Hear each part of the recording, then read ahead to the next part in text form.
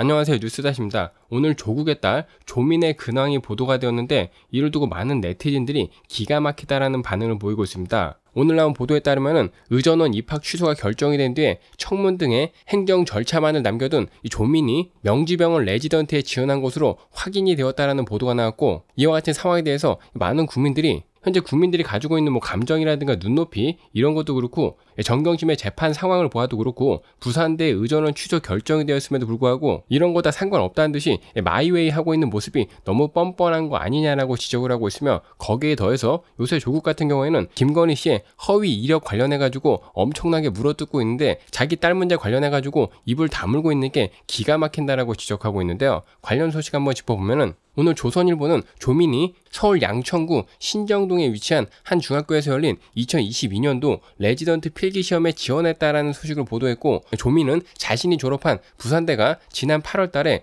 의전원 입학 취소 결정을 내리고 청문 등의 후속 절차를 진행하고 있는 가운데 레지던트를 지원했다라고 보도했습니다. 네, 그리고 의료계 관계자에 따르면 조민이 지원한 과는 응급학과로서 명지병원의 입원 응급학과 모집 인원은 총 2명이고 지원자는 총 2명으로서 현재 경쟁률이 1대1이라고 하는데요. 그러니까 사실상 이제 시험만 보면은 무조건 붙는 상황이나 이거죠. 그리고 명지병원은 지난달 2022년 2월 달에 인턴 수료자를 대상으로 하는 이번 충원에 총 22명을 뽑겠다라는 레지던트 충원 공고를 냈고 조민은 올 초부터 한국전력공사 산하 한일병원에서 인턴 과정을 거치고 있는 상황입니다. 네, 그리고 명지병원은 필기시험 뒤에 면접이라든가 인턴 근무 성적, 의대 성적 등을 합산을 해가지고 최종 합격자를 발표할 예정이라고 하지만은 아까 말씀드렸다시피 현재 경쟁률이 1대1이기 때문에 사실 별로 의미가 없는 상황인데요. 이와 같은 상황에 대해서 의료계에서는 사실 좀 우려스럽다라는 반응을 보이고 있는데 현재 경쟁률로 보았을 때 조민이 합격하는 것은 거의 뭐 당연해 보이는 상황에서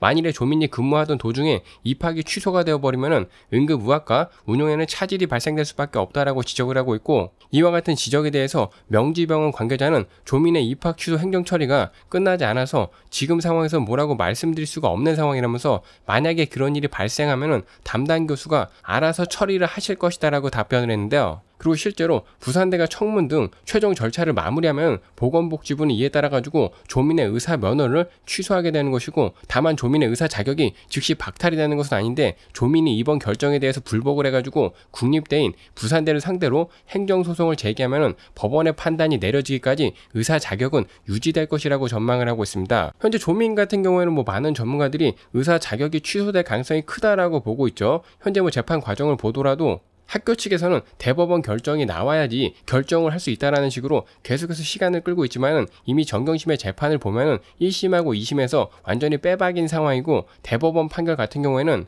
죄의 유무를 따지는 것이 아니라 이 재판 과정에서 적절했는지 법적 절차에 대해서 따지는 거기 때문에 사실 판결이 뒤집힐 리는 없다라고 보는 게 중론이고 이 때문에 대법원 판결이 나오면은 조민의 의사 자격은 취소될 것이라고 보는 게 거의 중론입니다. 하지만 그럼에도 불구하고 조국 측에서 지금 지적하고 있는 것처럼 본인들이 할 수 있는 모든 방법을 다 동원을 해가지고 항소를 하거나 이런 방법을 써가지고 의사 면허 취소가 되는 것을 지연시키기 위해서 온갖 방법을 다 동원을 할 것인데 현재도 그렇고 나중에도 이 문제로 얼마나 시끄러워질까 이것만 생각을 해보더라도 정말로 행정력 낭비에다가 국민 스트레스 지수를 증폭시키는 일이다라고 밖에는 볼 수가 없는 상황인데요. 그리고 더욱더 기가 막힌 것은 현재 조국이 보여주고 있는 행동인데 현재 조국은 하루하루 이 김건희 씨의 허위 경력 논란이라든가 윤석열 후보 집안 문제를 저격을 하면서 게시물을 정말로 폭풍같이 쏟아내고 있는데 본인의 딸 문제 관련해서는 일언반구도 언급을 하고 있지 않으며 아니 오히려 지금 뒤에서 챙길 것을 다 챙기고 있는 이런 모습을 보여주고 있는데 이런 모습을 보고 있는 국민들은 정말로 기가 막힌다라는 반응이 나올 수밖에 없는 상황이며 실제로 네티즌들의 의견을 보더라도 아니 의전원 취소가 불보듯이 뻔한데 응급학과 레지던트라는 게 말이 되느냐?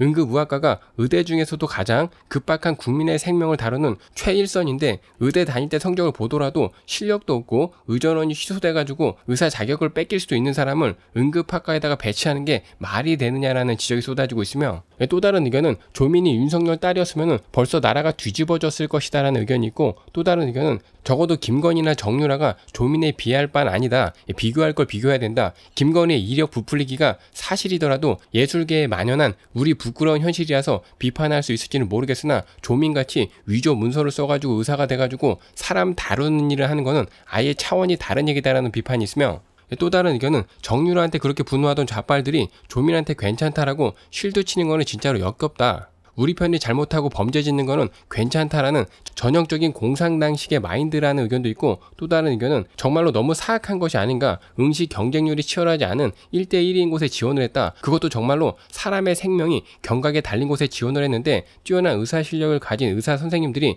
지원을 해야 되는 곳임에도 불구하고 그런 곳에 의전원에서 두 번이나 유급을 한 사람이 지원을 해가지고 합격을 하는 것이 말이 되는가라고 지적을 하고 있으며 이거는 의전원 실습이 아니고 사람 목숨, 생명을 다루는 일인데 이런 일을 가지고 장난질을 치는 게 말이 되느냐라는 이런 지적이 있습니다. 아무튼 뭐 조국 집안의 문제를 보면은 하루하루가 정말 legend라는 생각이 들고 특히나 조국 같은 경우에는 본인들 집안의 위선이 드러나기 전에 그 누구보다도 정의팔이라고 앞장서가지고 국민을 외치던 사람 중에 한 명이었는데 지금 본인 집안에서 일어나고 있는 이런 일들에 대해서 단 한 번이라도 국민 감정을 생각을 해 본 적이 있는지 참 궁금하다라는 생각이 듭니다. 이번 소식은 여기까지 하겠고요. 여러분의 의견은 어떠신가요?